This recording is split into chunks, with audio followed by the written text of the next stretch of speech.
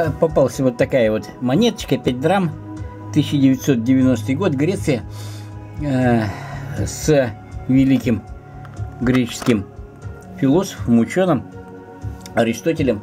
Хотелось бы вспомнить, чем он там так сильно был знаменит. Он был известный на весь мир древнегреческий философ, был учеником и наставником многих великих умов. Среди всех философов своего времени он еще при жизни добился огромного влияния, и именно он во многом заложил основы философии в целом. Будучи разносторонне развитым человеком, Аристотель интересовался самыми разными областями человеческого бытия, разнообразными науками, учениями, и он всегда преуспевал во всем, за что брался. При жи... Жил великий философ около 2400 лет назад. При жизни Аристотель был учителем многих великих людей, включая Александра Македонского. Самого Аристотеля учил не менее известный Платон, который, в свою очередь, сам был учеником знаменитого Сократа. Вот такая вот преемственность. Отец Аристотеля был придворным лекарем одного из македонских царей. Карл Маркс утверждал, что среди всех мыслителей древности Аристотель был величайшим. Задолго до Галилея Аристотель учил, что Земля и Луна имеют шарообразную форму. Сохранившиеся до наших дней отрывки биографии Аристотеля утверждают, что он перебрался в Афины, когда ему было 17 лет, и прожил там большую часть жизни. Около 70% всех работ и научных трудов Аристотеля были утеряны и не дошли до наших дней. Именно Аристотель считается основоположником таких наук, как логика и психология малоизвестный факт, Аристотель был не просто философом, он был чрезвычайно сведущ в астрономии, ботанике, биологии, зоологии и других науках. Именно он первый объяснил, почему одни и те же растения лучше цветут в определенных местах. Труд Аристотеля под названием «Поэтика» посвященный его размышлениям о поэзии. Вероятно, великий философ был также литературным критиком, одним, одним из первых в мире. После падения цивилизации Древней Греции многие труды Аристотеля пропали, их удалось сохранить в основном благодаря индийским, персидским и египетским ученым. Он утверждал, что у Вселенной нет ни конца, ни начала. Аристотель, биолог, разделял всех животных на тех, у кого есть красная кровь, и тех, у кого ее нету. Многие ученые и историки сходятся во мнении, что именно он был самым умным человеком в истории человечества. Никаких сведений о внешности Аристотеля не сохранилось, Некоторые историки упоминают, что он был всегда ухожен, красиво одевался и страдал некоторыми чуть-чуть дефектами речи. Аристотель разбирался в э, метеорологии, объясняя происхождение молний, ветра, облаков, а землетрясение он считал результатом воздействия подземных ветров. В, основ... в основанной им школе Аристотель читал лекции ученикам не в помещении, а в саду во время прогулок – Систематика животного мира по Аристотелю изучалась в школе более двух тысяч лет, вплоть до XVIII века. Философ полагал, что мыслительным центром человека является сердце, а мозг лишь вырабатывает кровь, необходимую для его охлаждения. Александр Македонский во время своих завоеваний собирал для Аристотеля образцы почв и растений в разных землях, через которые проходили его войска. Известный древнеегипетский царь Птолемей также был одним из учеников Аристотеля – свое знаменитое собрание лекций Никомахова «Этика» философ назвал в честь своего сына Никомаха, погибшего в бою еще в молодости.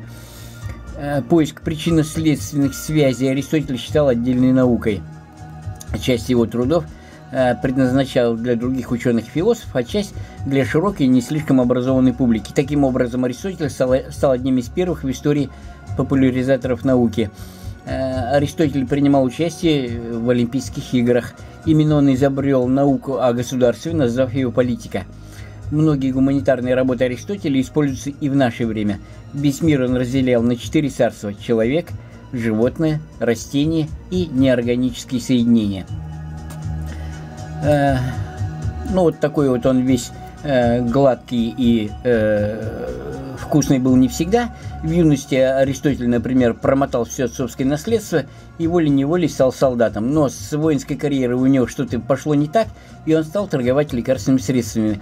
Потом он стал ходить в сады и слушал там беседы философов. Благодаря хорошей памяти он усвоил там начало своих знаний. Один греческий ритор обратился к Аристотелю с просьбой, чтобы тот оценил его искусство. Аристотель дал такой отзыв – я удивляюсь, как это люди, у которых есть ноги, стоят и слушают тебя, вместо того, чтобы уйти. Однажды Аристотель был болен, когда врач предписал ему какие-то средства и процедуры, он сказал, Не обращайся со мной как с пастухом или с землепашцем, а сначала объясни, почему ты их даешь. Тогда я готов тебя слушать. Аристотель говорил, что глупец не испытывает ограничения скудости своего ума, подобно тому, как пьяница не чувствует шипа, который вонзился ему в руку. Один из учеников спросил Аристотеля, «Учитель, скажи, чем ты отличаешься от остальных людей?» Ответ философа был быстрый и беспощаден. «Они живут для того, чтобы есть, а я ем для того, чтобы жить».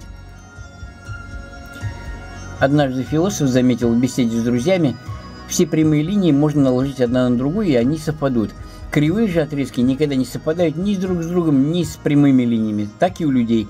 Умный человек всегда согласится с другим умным человеком, а глупец обычно не соглашается ни с умным, ни с глупым. Когда Аристотеля спросили, почему завистники всегда чем-то огорчены, он ответил, что их снедают не только собственные неудачи, но и успехи других.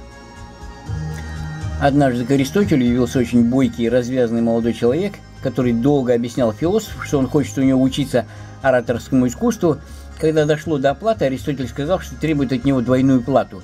Видя недоумение новичка, он пояснил, что прежде чем научить его говорить, придется потратить много усилий, чтобы научить его молчать. Филипп Македонский, хоть и был полководцем, но высоко ценил образованность. Так он представил большие средства Аристотелю, благодаря чему тот смог приобрести большие познания в различных областях, особенно в науке о животных – как-то э, Аристотель Александр Македонский, Македонский немножко разгневался, Аристотель послал ему записку, раздражение и гнев должны обращаться не против низших, а против высших. Равных тебе же нет. Аристотель был очень резким и неужившим иногда человеком. Когда уже умер его покровитель и воспитанник Александр Македонский, Аристотель решил, что его может постигнуть участь Сократа и бежал из Афин. Своим друзьям он сказал, я хочу избавить афинян от нового преступления против философии. Ну что ж, на этом, пожалуй, все. Спасибо за внимание. До свидания.